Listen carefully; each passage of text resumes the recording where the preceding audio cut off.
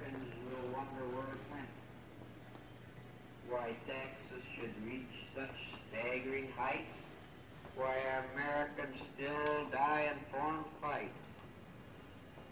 All the mothers receive in return are what the dead soldier earned: the simple medal of honor given, a commitment of his life to heaven.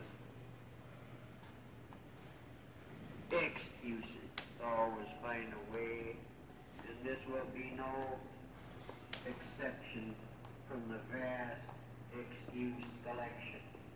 Oh, the